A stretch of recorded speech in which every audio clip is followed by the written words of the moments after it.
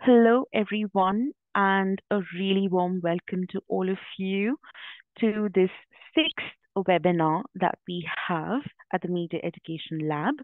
This particular webinar series is called Inequalities and Media Education. And I personally love the topic that we're going to be discussing today. Um, it's about using mobile in innovative ways for communication during a crisis and Professor Keri K. Stephens is going to be talking about her amazing project, Adapting Mobile Communication for Flooding in Texas. And uh, Professor Keri K. Stephens is a professor in organizational communication and technology in the Department of Communication Studies at the University of Texas at Austin. And she's also the co-director of Technology, Information, and Policy uh, at the institute there. Um, she has authored over 100 peer-reviewed publications in top journals, proceedings, books, and I'm going to be sharing links in chat for two most recent books. One is an edited volume on new media in times of crisis. Uh, this came out quite recently, 2019 Routledge and the other is a multi-award winning book, Negotiating Control, Organizations and Mobile Communication, uh, which came out with Oxford University Press. Uh, he's also given a really cool TEDx talk, so I'm going to be sharing a link to that as well. And with that, enough of me, over to you, Professor Stephens. Thank you so much. Y'all, I'm so excited to be with you um, here today to talk about a project that has been ongoing the last uh, two years, and it ended in December. And I would have to say that it's probably the most meaningful project that I have been fortunate enough to get to work with in my entire career. And so I'd like to start off and introduce my team because this was my field travel team. Uh, you'll see Samantha uh, Varela over here. She was integral to doing our community engaged work. Um, Ifan uh, Zhu was fantastic at taking field notes as we went through and figured out how to work with our communities. And those are the part of my team from the University of Texas at Austin. Something that makes this project really unique is that we also partnered with another university, large university in Texas, a rival university in Texas mm. called Texas A&M University. And so I have two colleagues who traveled extensively with me there, um, Andrew Wan and Nicholas Diaz. You'll also see in this picture one of the county commissioners in the area uh, that we're going to be discussing today. A county commissioner in um, the United States is an elected official at what's called our county level. And so a county level is a smaller level than a state. Um, and in this case, this is one of the largest counties in the state of Texas, but it also has one of the smallest populations at only a little over 3,500 people. So let's get started. All right, so this is the area of Texas that I'm talking about. As a matter of fact, people often think tell told would tell me that trees don't grow any taller than your knees in this area because it's a desert.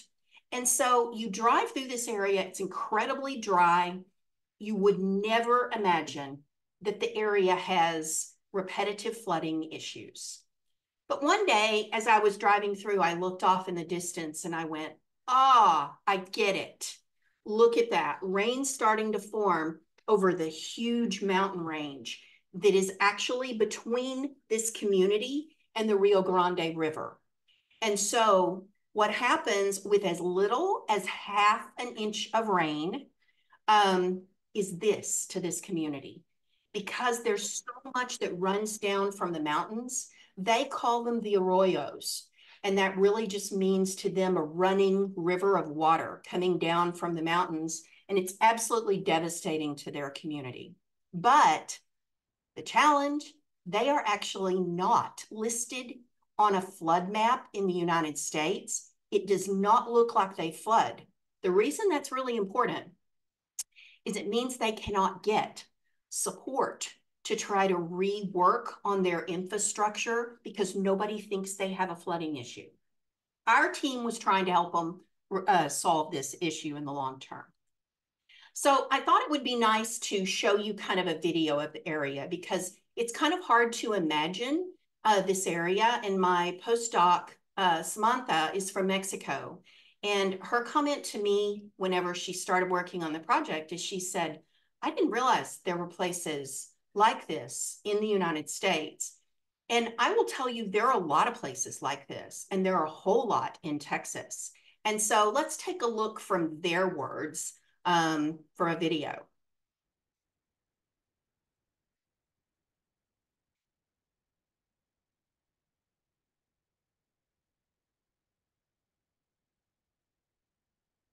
And it takes just a second to start.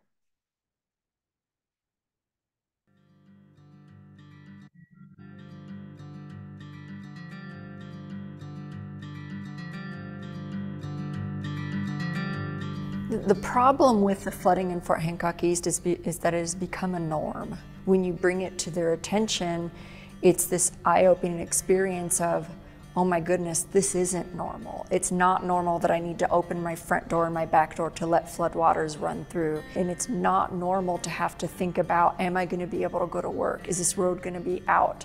Are the school buses gonna run? Fort Hancock's really a valley. So you're gonna see the mountains that are on the Mexico side and on Texas side. And Fort Hancock falls in the middle, which is what makes it a great farm area.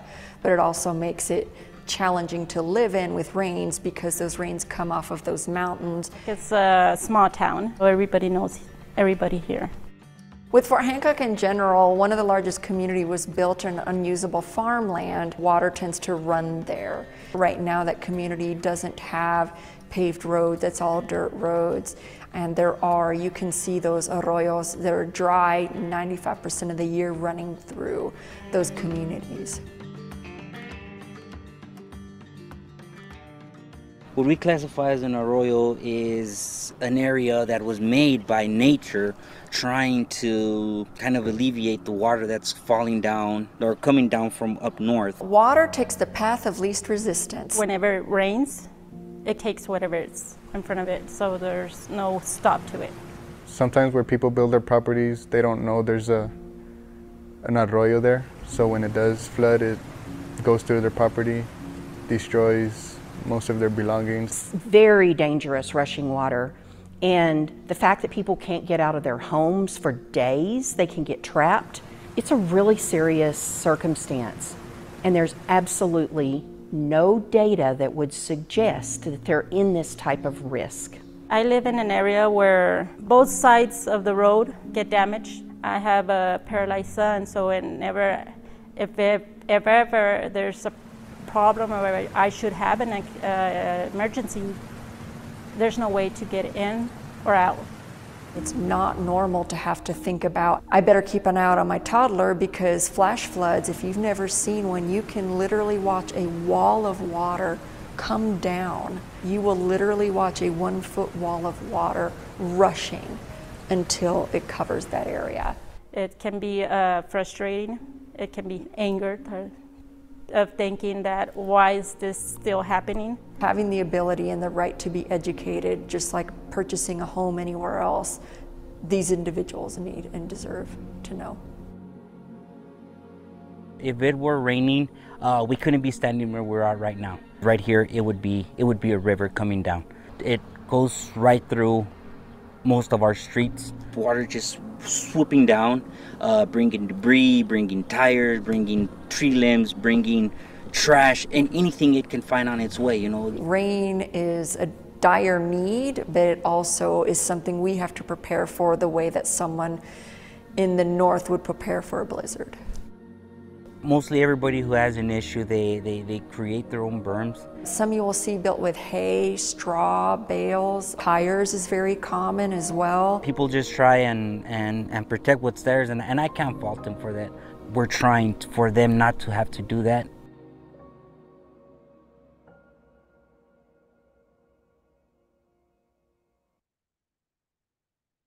So we have four different community members that we've trained to collect photos and images from the community about their flooding. I was a little worried about would people participate. Literally, within a matter of three days, we start hearing people are so excited.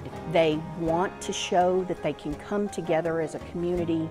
It's been a real inspiration to watch them take the project and run with it. I think that this community, they are the real experts in what is happening at Fort Hancock. Why hasn't this been fixed in Fort Hancock? It's hard to answer that question, I think because it has not been recognized. We don't end up qualifying for an area that I know has regular flooding because there is no data to show that there is flooding. Our maps haven't been updated since 1985. It goes back to the, the fundamental purpose of DRIP, which is to help communities take that first step and then have them walk the path by themselves. DRIP's program is not just life changing, this will change generations in this community. If, if anything were to happen when we go and apply for anything, any type of help, we can say, okay, you know what? This is the issues we have, this is what they represent, and actually give them proof in writing. Showing up is half the battle, and they show up. Que lo que más espero que de este proyecto es que este, pues ya se le va a acabar muchos problemas a la comunidad. I mean, this community is everything to me. This is not political. This is about giving basic humanitarian rights to people. I'm just going to do the right thing, what I think is the right thing, and standing up for my community and where my daddy lives and where I grew up. That's the hill I'll die on.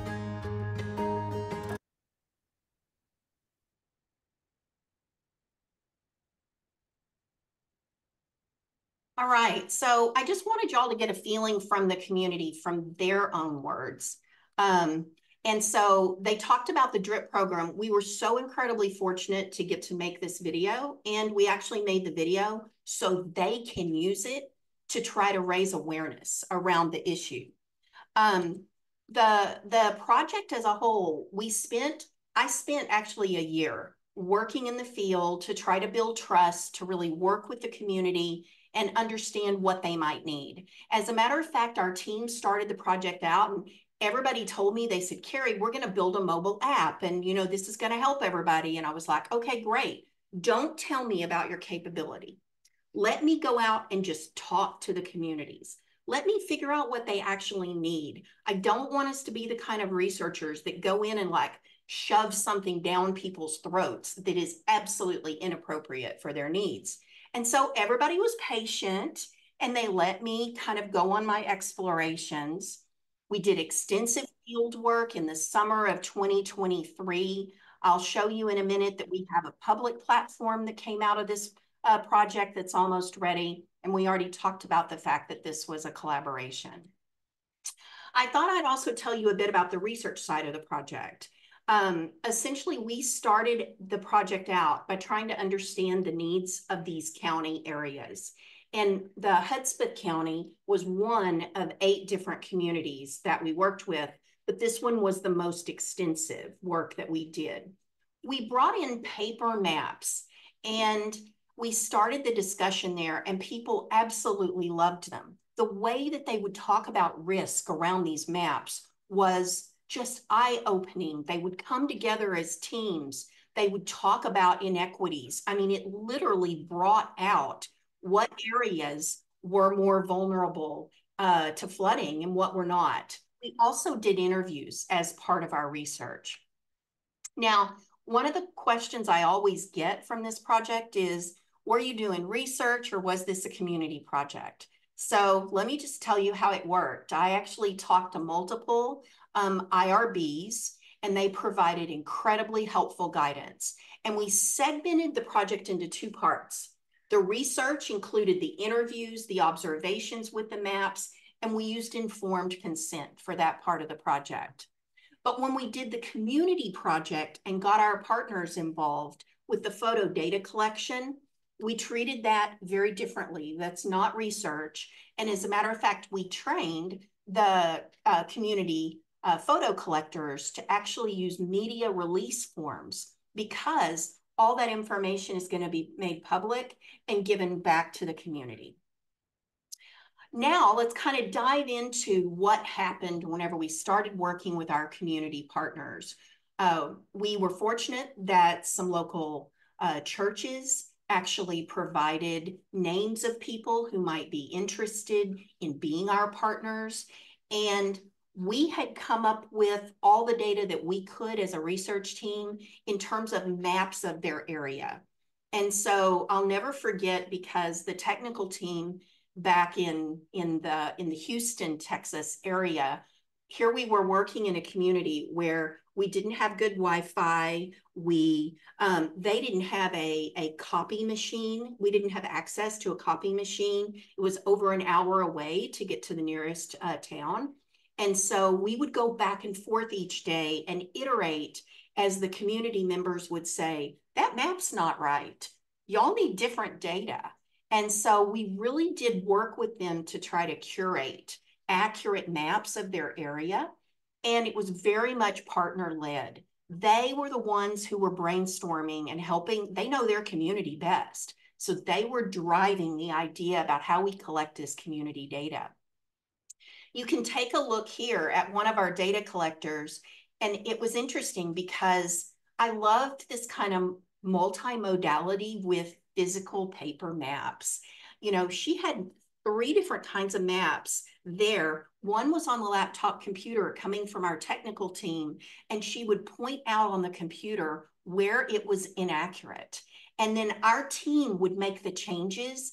We would run into town, make copies every afternoon, print out what the data collectors wanted, bring it back to them, and they would either say, yep, that's accurate, or nope, we got to keep working on it. Here's another example of two of our data collectors actually trying to figure out the best way to structure the data collection in their community. What they came up with was this idea of zones. And one of the challenges with this community is it, it's very long and narrow. And so trying to put that together in physical maps required a lot of tape and a lot of um, a lot of printouts. And but what they did is they came up with the areas of town that they knew the best.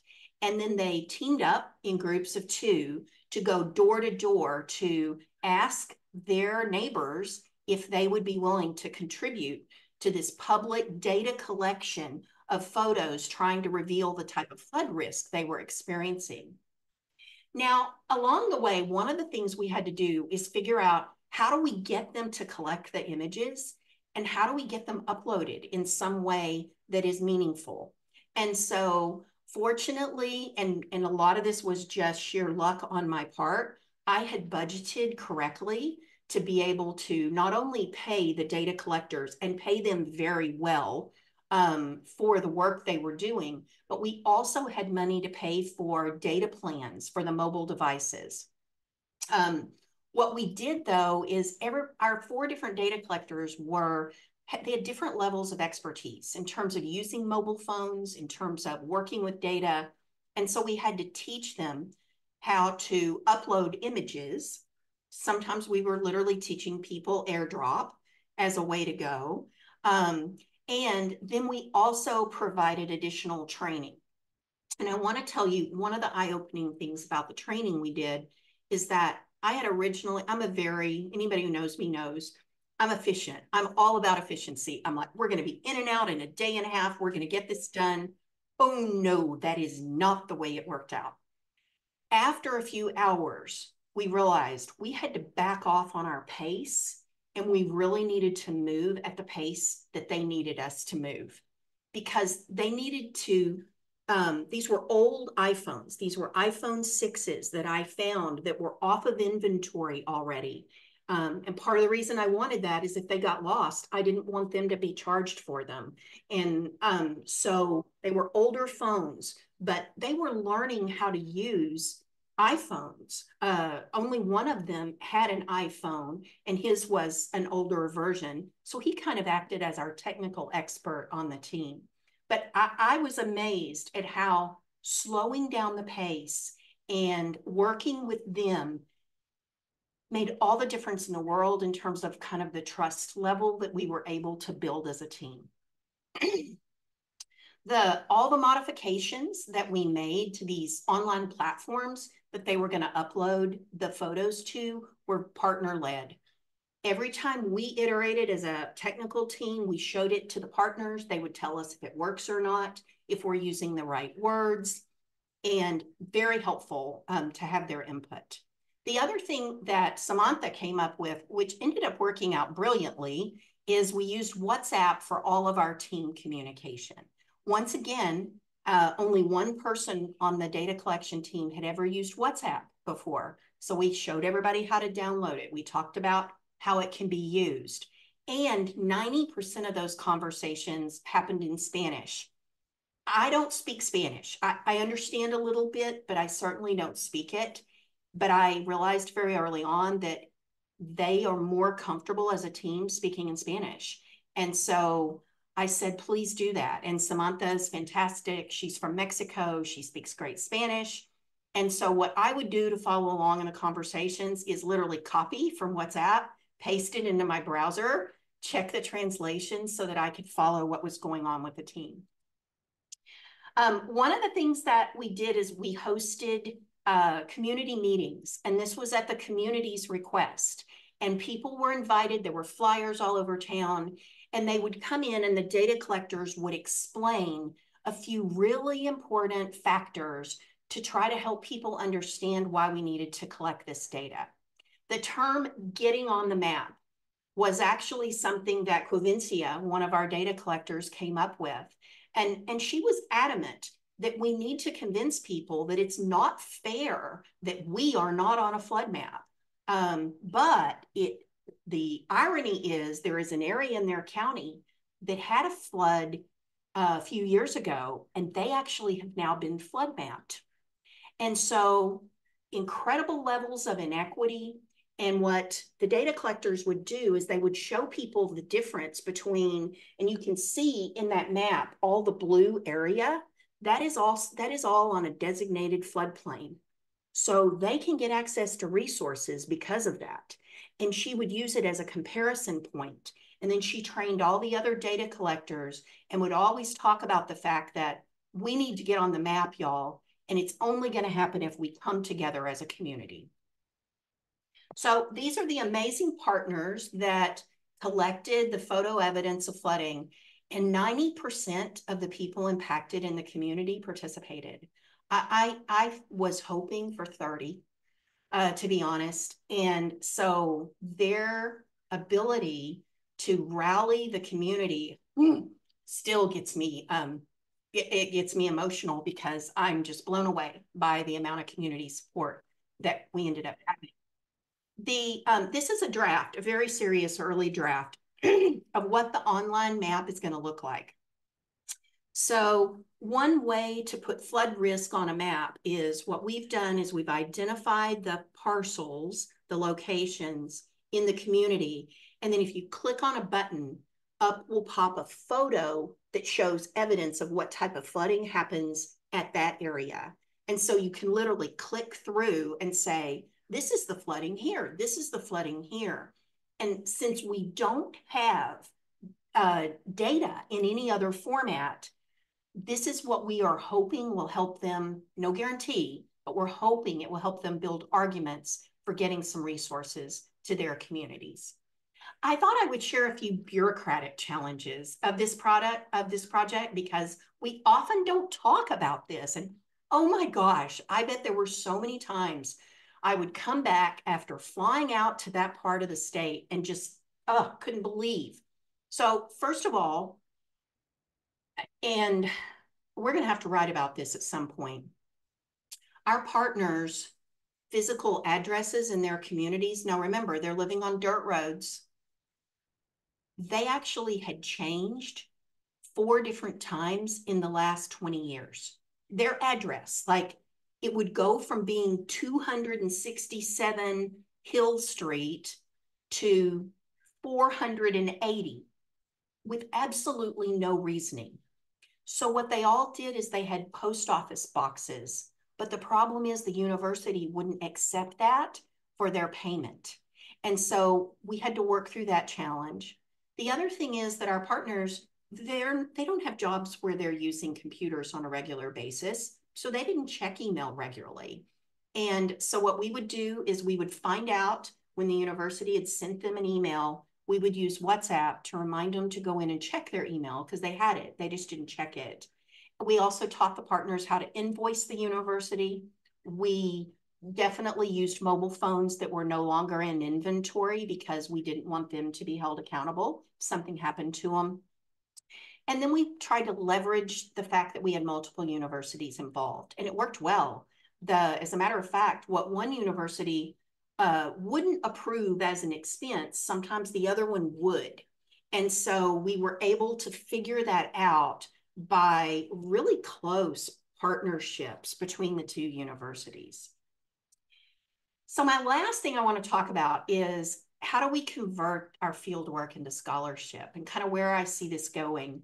You know, one of the things that's been the hardest now that I've done a lot more community engaged work in the last five years is that when you're in the field, you are so busy trying to get the data collected, get the help to the community that they need, and you're on a time clock to spend your money. And so I find that I can't do a lot of academic writing when I'm doing the field work. However, I've really been thinking a whole lot about this notion of boundaries and borders, especially out in that area. Let me tell you what this picture is. Um, just north of this part, and if you look on a map, the state of Texas, and you go into the corner edge, that's where El Paso, Texas is. This community is about an hour, a little over an hour south of El Paso, and the border is actually between the United States and Mexico, and the border is the Rio Grande River. Well, throughout history, the Rio Grande River would shift and move.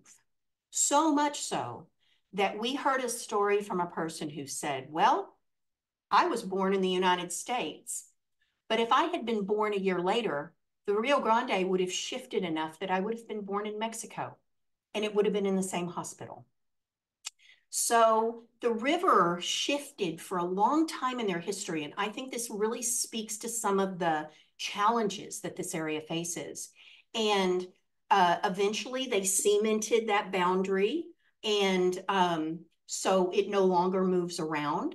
But there's a lot of historical, I think, implications around these moving and shifting boundaries and the fact that things change all the time in these communities and they're often ignored and, and neglected. Another kind of key area that I'm going to dive into is this notion of sense making around maps. I couldn't believe how the communities don't, they didn't want a mobile app.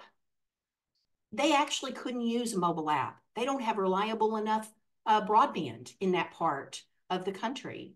And so they loved the physical maps. And when we started the project, I went back to my technical team in Houston and they said, Oh, Keri, you can't be serious. Printed maps are all they want. And I said, Look, y'all, they don't have the workforce to be able to manipulate fancy uh, geographic maps on a computer.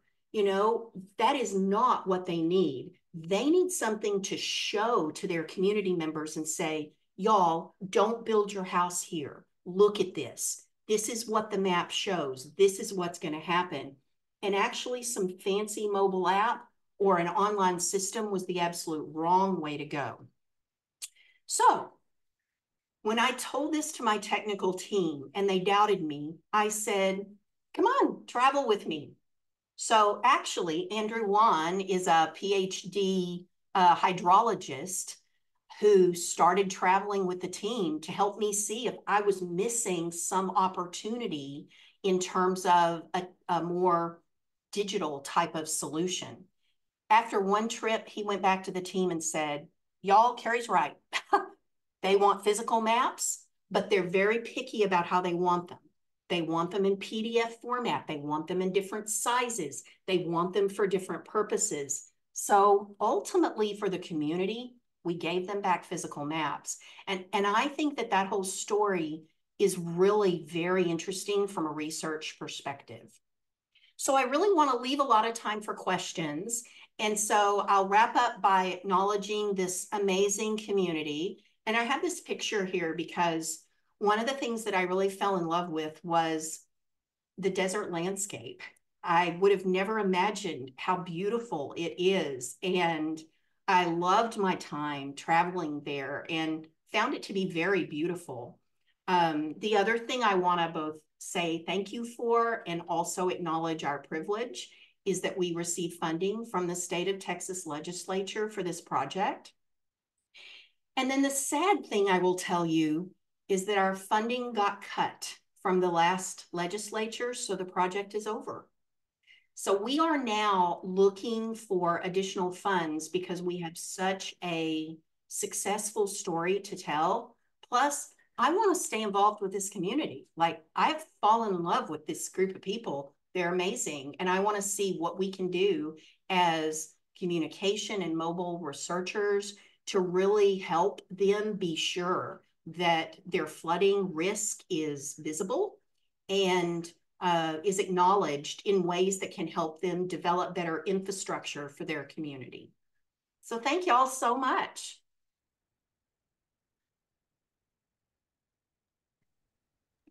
Thank you so much, Professor Keri Stephens. This has been such a project, and I think uh, attendees are going to agree that this is going to work that really, really makes a positive difference. And the fact that every step of the way the community was listened to and their input was, it, it's not as if their input was an afterthought the input was part of the project to begin with. And I think that is something that all of us as researchers, as communicators should really be mindful of when we're doing our own project. Uh, I'm going to open the floor to comments and questions now. And I see Barbara's already raising a hand. Please go ahead. Yeah. Keri, this was so worth my time. I just, I agree with Davina. I just couldn't help but in Yiddish we say kvelling. It was felt so good. And, you know, I I have a background in community change and civic leadership, and I've worked, I mean, I've worked with, not worked, I volunteered with the single payer health movement. And uh, this forming trusting relationships with people who are different with you. You don't go in and intrude, bringing the, the community into the conversation. They know what they need. This is such a beautiful example that could go to many different movements that need to be bridging the ethnic, cultural, and class boundaries, and they are just not doing it. Where we're going to go in this country if we don't, I don't know. I'm very concerned. Yeah. Well, so thank you so very much. Well, thank you, Barbara. Um, you know, I one of the things that I'm very fascinated by right now is the fact that a lot of the federal funding agencies are now really starting to see the importance of community engaged work. The problem is I don't think most of the funding mechanisms are not designed to be long enough where you can actually build the trust and the relationships that you need to. There's a lot of pressure, I think, on people to go in and say, okay, I have a week, I've got to figure this out, and then I've got to design something. That is not the right approach. And I am now more convinced than ever. And it took a lot of me pushing on the team and saying, I don't know yet, y'all. You've got to give me more time. They were gracious enough as researchers who design digital apps and mobile solutions for a living. They were gracious enough to give me that time. And I feel like we found the right types of solutions, and the community told us what they needed, but they sure had to trust us before we could ever figure out what would be the right way to go. And yes, the the places, whether it's the federal government, state government, or uh, foundations, they just want to see how their money is going to work. And they don't, they're not in the trenches. They don't understand that there's a process that needs to take place if you're going to make sincere and change that's going to last. I, I don't I don't have an answer for that. You may have to this should go this film should go all over the place. I mean, I'm really being serious. I'm not flattering you. Mm-hmm. And yes, I've been in the desert, especially when the cactus were flowering. It is a beautiful place. It is, and it's it's it's a different, it's a very different place. Um, but I I definitely fell in love with that landscape. Um, I'm going to use my uh, lab core team membership privileges and ask you a question.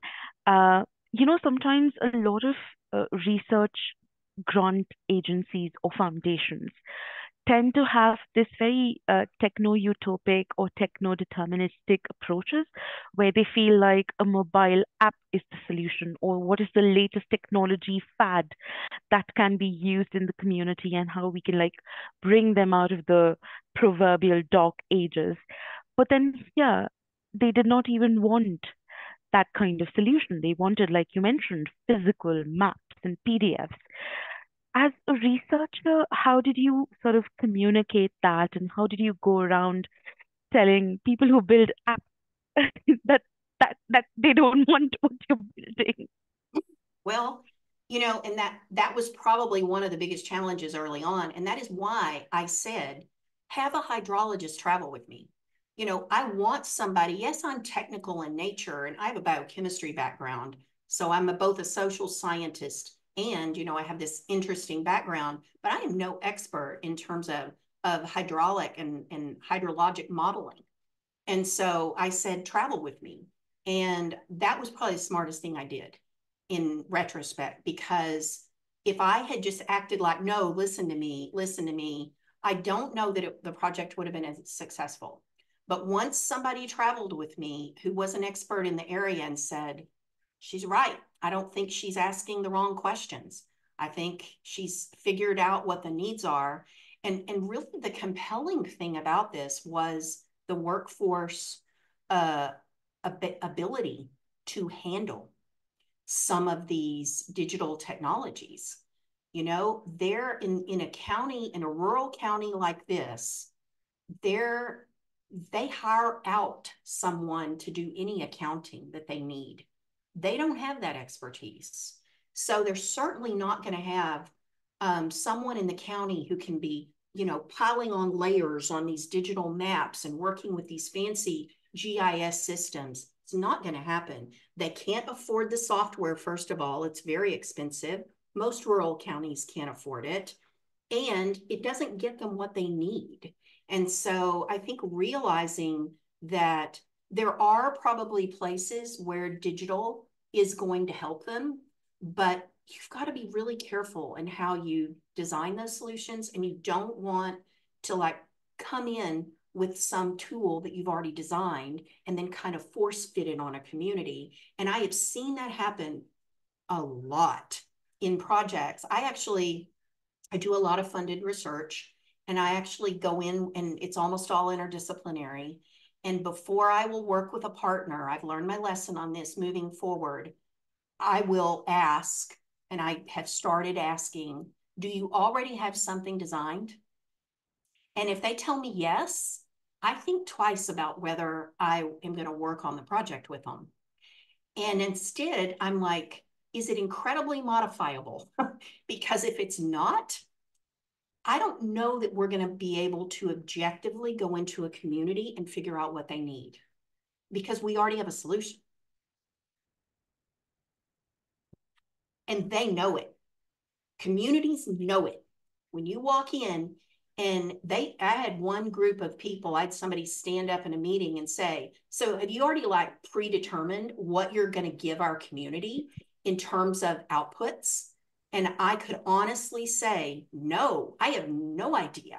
And I'm relying on you to tell me and guide me along this so we can provide you something that you can use.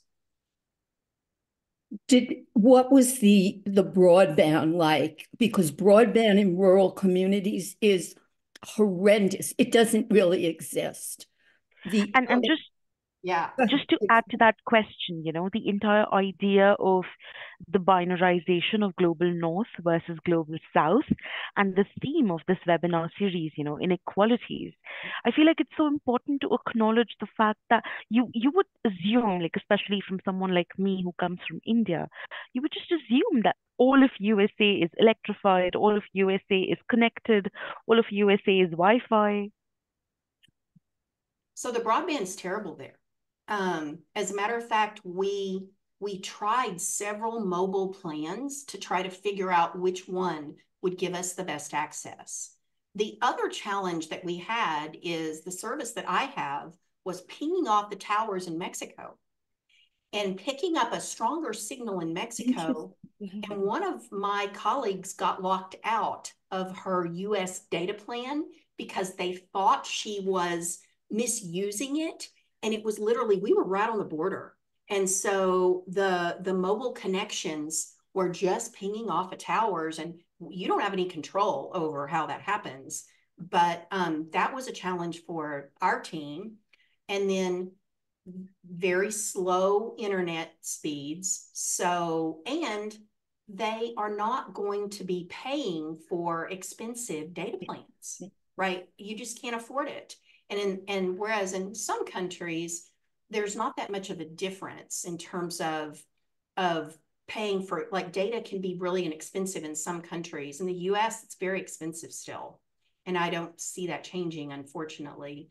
So all of those are incredible challenges when you deal with rural communities that even though we have a new initiative in Texas that is very focused on improving the broadband, I am once again very concerned that people will try to shove solutions down the throats of communities instead of going in and figuring out what they need. In Tompkins County, where I am in New York, the county has now taking it into their own hands because Spectrum, uh, they don't, they're not going to help with anything. So they're taking it into their own hands to try and get out into the rural. They haven't started yet, but this is what's needed. And co during COVID, those children that did not have a broadband connection, they were virtually screwed, you know. So this is a very big problem. And in certain countries, utility, it's a public utility. You know, this is and the same with with electric and gas, it's public. Yeah. None of this, you know, the the people own, so to speak, the utility and yeah. it's much cheaper you mm-hmm. know? Yeah. It, it is a it is a real serious issue um and something that we're going to have to address. Uh, you're exactly right. The public companies it's very hard for them to justify financially providing service to one of the largest counties in the state of texas. I think it's 4500 square miles. Sorry for the miles to everybody who does meters. um, 4,500 square miles and 3,500 people. Wow. The vast majority below the poverty level. So it, it, it, does not make economic sense for the companies yeah. to do that. There have to be other uh, other motives and motivations for trying to make that happen. And but it's a very serious issue, and it only exacerbates our inequities that we see. Yeah, absolutely. And the, the, the these certain aspects of the government and the, these companies, they don't really care. It's all about the money. They don't care who has, you know, and for me, this is, is very problematic and it adds to the continued inequity in uh-huh. this country if people can't connect on certain levels. And I had a feeling you were going to say that the poverty there, I, I just, I was going to ask you, but I thought that's part of the, the issue.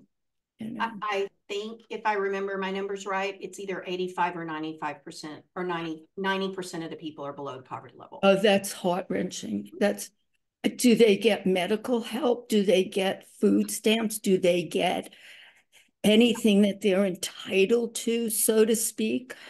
So the the other thing that was very eye-opening is they are over an hour and a half away from a grocery store, y'all. I mean, we talk about the concept of food deserts. We did, yeah. Uh, this is way beyond what you normally read in literature. For them to go to the grocery store, it's an hour and a half. The county judge uh, lives out on land. She goes to grocery store one time a month, has a big deep freeze, stores up everything, told me all about her strategies. In terms of healthcare, uh, they do not have an MD in town, but they have a clinic that has now opened up where they do have some nursing care in in the community, but it's in, it's very limited. Um, the other thing to think about with a humongous 4,500 square foot county, they have three schools. Okay, the best way to describe how far apart they are is the former county judge uh, on Christmas for their Christmas parties, which is what they pr primarily celebrate in that part of the country. Um, the county judge had to ask a local rancher uh, to fly him in his helicopter between the schools so he could visit all of them in one day because he couldn't drive. He couldn't drive it in a day. That's how big this county is. There are children that are an hour and a half each direction away from the nearest school. And y'all, this is 2024. Okay? This is not history. This is happening today. And so when you look at these communities and the fact that they're not flood mapped, um, you know, it's and the the challenge. There's a big challenge with that. I mean, you can't just blame people for not flood mapping them. These are this is a different kind of flooding, and it's actually really hard to capture this kind of flooding in in data formats. And so, some of my other projects right now are really trying to look at how do we move beyond the types of, of data that we gather right now for floods and really look at some of these flash floods, these floods that are, are intermittent and people are not going to necessarily be living on a place that it looks like should flood all the time.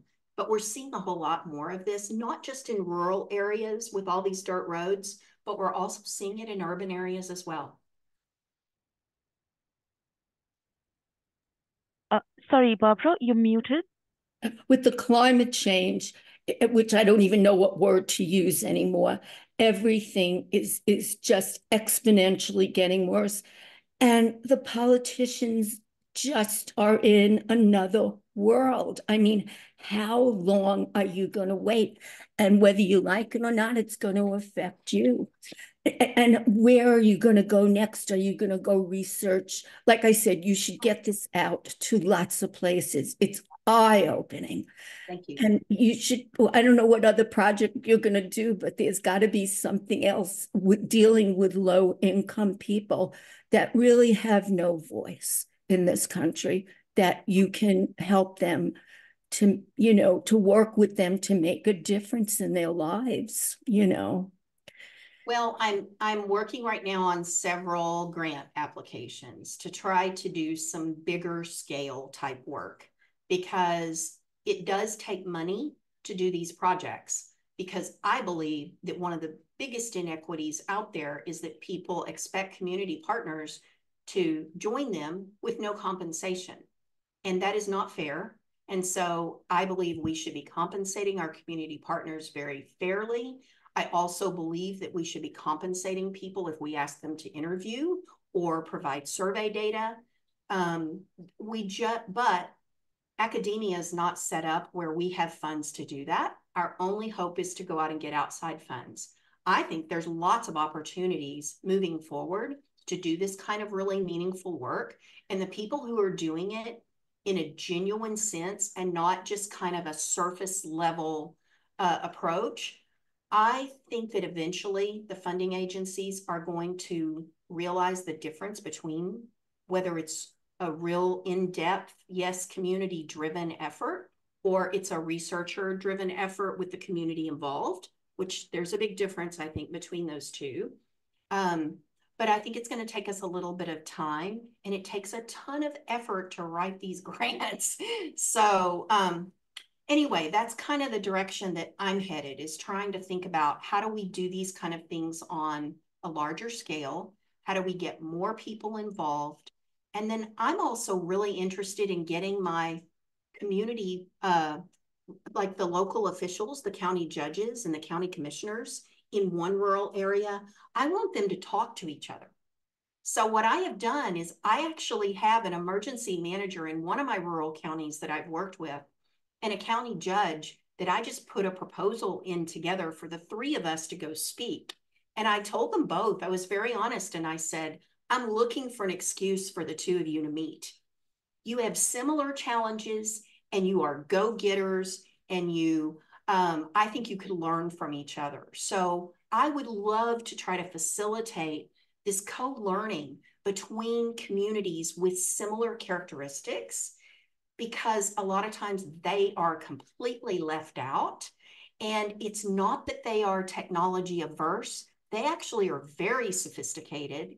That emerg- that rural emergency manager literally just sent me an email and he's like, okay, so I'm using Chat GPT to design this and do this. And, you know, they are all about trying technology. Um, it's just what is the capability of the community to use it. I think this is just fabulous, and I hope you get all the grants because it. I'm just I can't I can't get over the fact that we work in such different areas, and yet there are such commonalities between the kind of work we do and the kind of results we want to see. Uh, and on that note, I'm afraid this is all the time we have for today. Um, thank you so much, um, Professor Keri Stephens and all the attendees and Barbara uh, for your engagement. I'm just adding a few links in. I'm just adding a few links in chat about all the events that we have scheduled. Uh, we're meeting next month for our seventh series webinar in the series on inequalities media education, and that's all about conspiracies.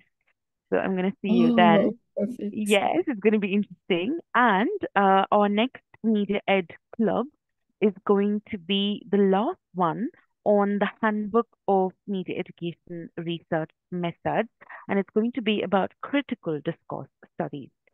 So with that, I hope to see you, and thank you so much for your attendance and engagement. Davina, always good to see you. And thank you so much for what you're doing. It's like you spoke to me. I, I just identified so much. It's far and few between for me. People just don't, they don't get it. They live in a bubble and it's very painful. So, well, go enjoy the sunshine before they charge for it a little humor. Have to have humor, or we'll we'll drown in in the world. Is is so uh, just too strange. And Davina, you must be. Oh, you're in London, so you're you're ready for dinner. Go enjoy. Right. well, have a great day, everybody. Yeah, you too. Thanks so much. Maybe they'll have you back again. Maybe so. Yeah. Yeah, maybe. Thanks. Bye for now. Bye-bye. bye bye